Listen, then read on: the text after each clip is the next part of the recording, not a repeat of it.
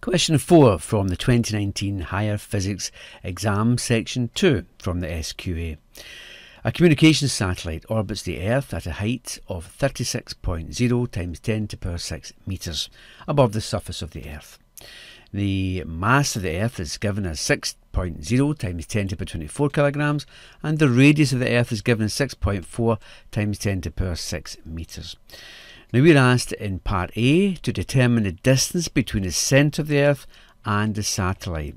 So that's really the distance between here, the centre of the Earth, and away out here to the, the height of the satellite.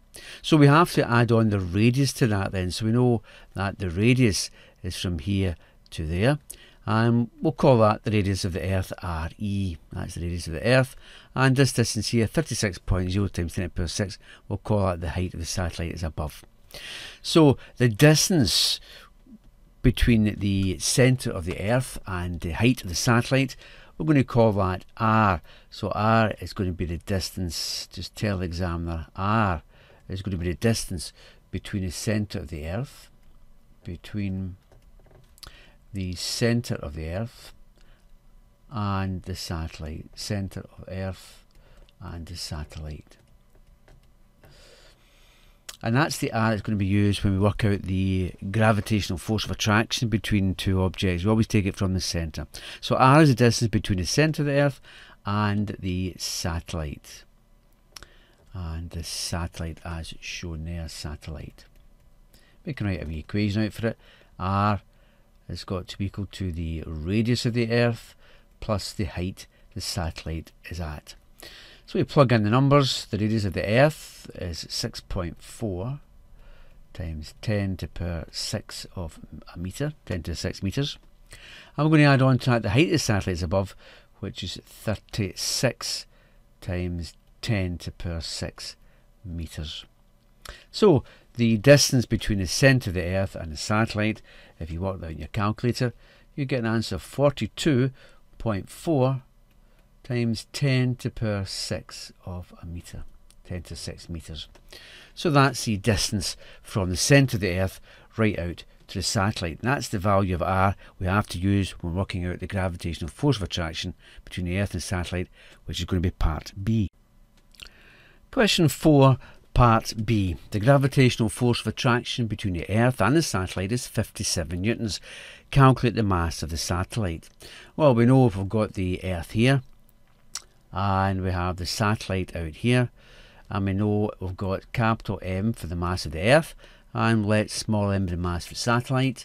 And we know that the distance between the centre of the Earth all the way out here to the satellite, we've just worked out previously, that's the distance r.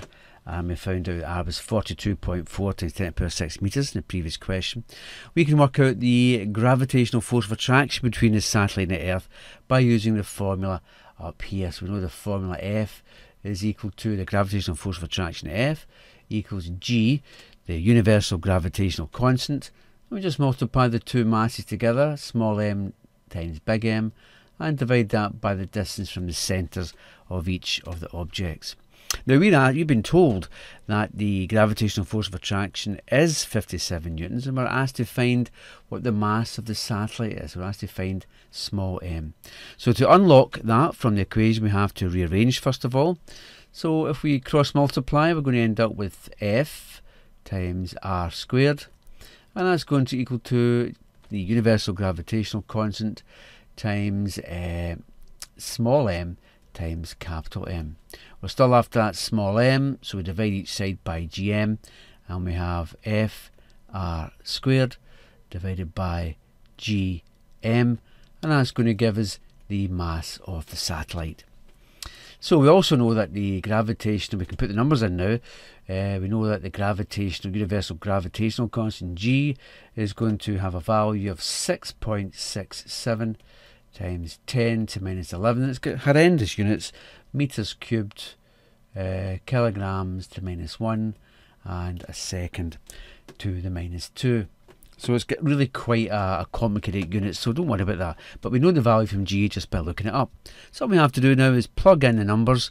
M equals F, which is the 57 newtons.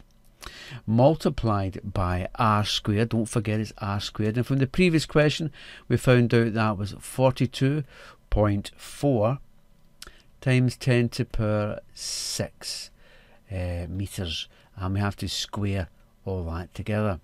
Divided that all by the universal gravitational constant, 6.67 times 10 to minus 11, leave the units out there now, multiplied by, in this case, we multiply by m, the mass of the Earth, which we found out from the information was 6.0 times 10 to the 24 kilograms. I'll put a bracket around that as well. So do that in your calculator, be very careful. And we end up with a mass equal to 256 kilograms. Then we can put that to two significant figures. We can call that 260 kilograms to two significant figures. Just beware of the square part here. You have to be very careful from that. But it's a straightforward calculation and rearrangement, and that should give you the answer for 4 part B. Question 4 part C. Determine the value of the Earth's gravitational field strength G at the satellite. So here's our diagram again. We have the Earth, we have the satellite, and the satellite is going to experience a gravitational force of attraction towards the Earth, which we called capital F. Now, that actually is equal to the weight of the satellite because the weight of any object is really the gravitational force of attraction which is acting on it. So that's the key point in this question, which seems to confuse a lot of people. The gravitational force acting on an object of mass m is the weight of the object. The gravitational force acting on an object of mass m is the weight of the object. And we know that the weight of an object is equal to the mass times its gravitational field strength at that particular point in the field. So W equals mg. So what we're asked to find out then is we're asked to find out what g is at the satellite. So g, if we rearrange, going to give us W divided by the mass. And we previously worked out the gravitational force of attraction, which is the weight, was actually 57 newtons. So we can put in 57 newtons there. And divide by the mass of the satellite, which we calculated to be 260 kilograms to two significant figures. So we work that out, we get an answer 57 divided by 260 is 0.22 newtons per kilogram. So that's the gravitational field strength out at the satellite. Of course, if the satellite was placed on the surface of the Earth, the gravitational field strength would be 9.8 newtons per kilogram. So the further we go out away from the planet, the gravitational field strength which is the weight per unit mass, decreases. So that's our answer to question 4C. Question 4, part D. A second satellite has a quarter of the mass of the first satellite. The distance from the centre of the Earth to the second satellite is half the distance from the centre of the Earth to the first satellite state how the gravitational force of attraction between the second satellite and the Earth compares with the gravitational force of attraction between the first satellite and the Earth. And you've got to justify your answer. Now, there's a lot of things going on here. I have to be very careful. I like to start off with a diagram of the situation. We can see that the first satellite M is a distance r from the centre of the Earth, and that's going to be, be that's going to have a force of attraction F equal to g small m big M over r squared. But look at the second satellite. It's only half the distance from the centre of the Earth and it's only got a quarter of the mass. So it's going to have a new gravitational force of attraction, a different one. And we can work it out by putting in the numbers. But you can see the mass of the satellite I've written as 1 quarter m. And the distance from the centre of the Earth I've written as 1 half r, because that's what I'm told in the sentences above.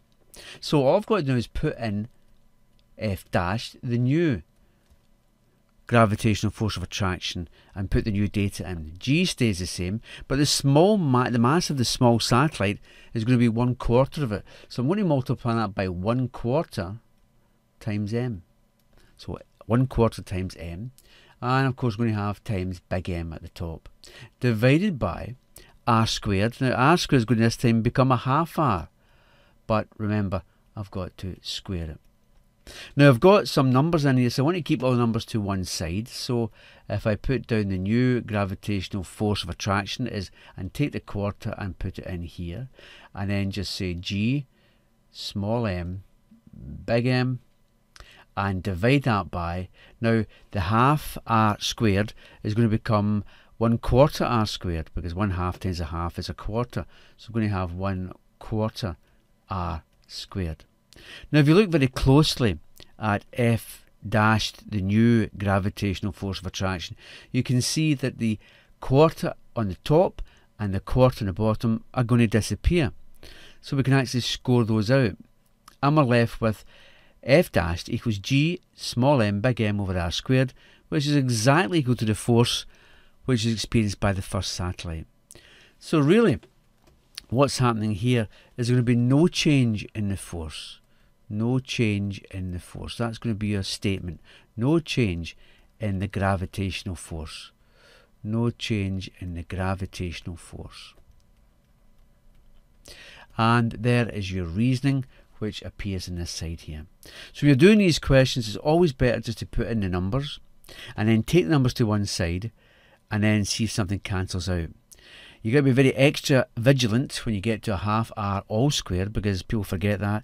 One half squared is a quarter and that goes there. And then of course the two cancel out and you have exactly the same expression as F, the original gravitational force of attraction. So there's no change in the gravitational force of attraction.